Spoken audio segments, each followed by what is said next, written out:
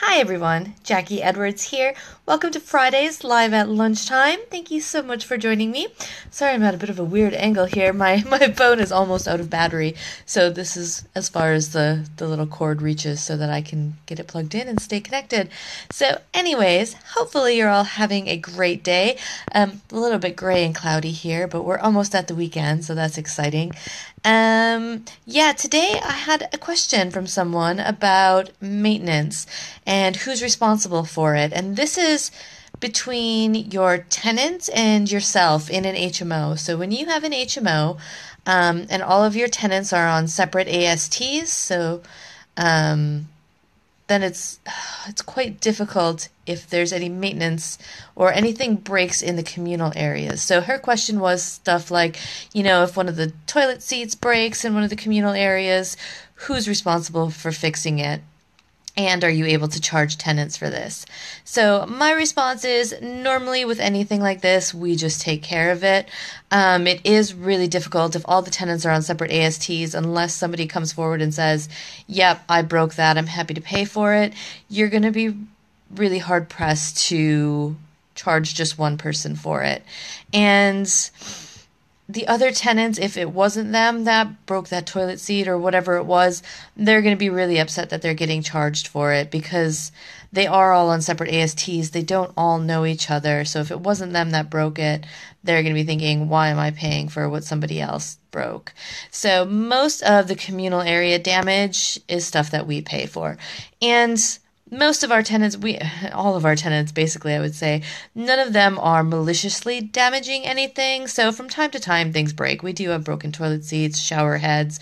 Um, you know, we've had broken oven doors when somebody must have just shut the door maybe a little bit too hard and the glass shattered. I mean, some of these things they just wear out. Sometimes accidents happen. Um, and we do just, we have been just replacing any kind of communal area things that break. Um, we have had tenants say, oh, yes, you know, this has happened. I'm happy to pay for it, type thing. But that's kind of rare. Most of the time, they just say, oh, my, the oven broke.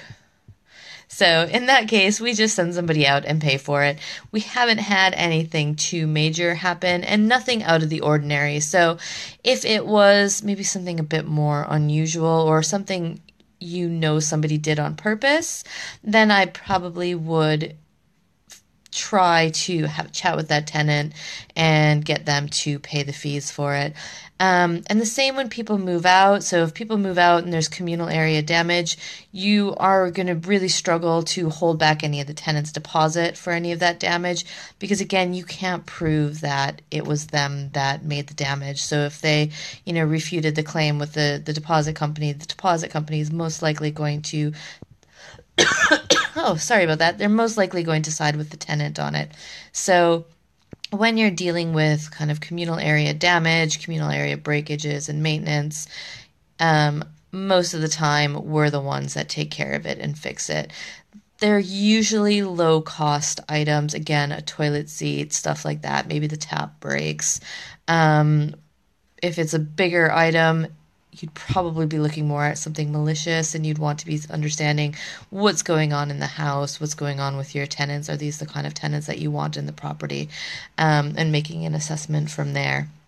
So, most of what we do is because we have good relationships with our tenants and we work well with them, we we just cover that kind of damage. We try to get it done quickly um, and make sure that it's not going to happen again and keep them happy, and it keeps us happy, and it keeps things moving along.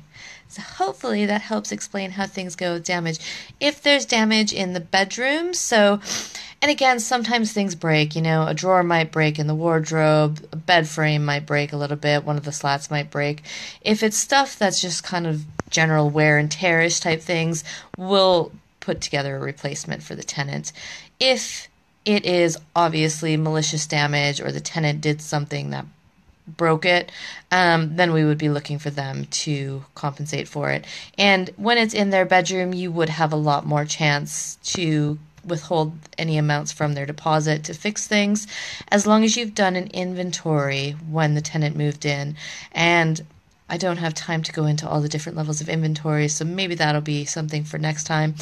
Um, but Yeah, so if there's damage in the bedroom, you'd have a better chance of charging a tenant for it because you can know which tenant it was. In the communal areas of an HMO, it's harder to know which tenant did it.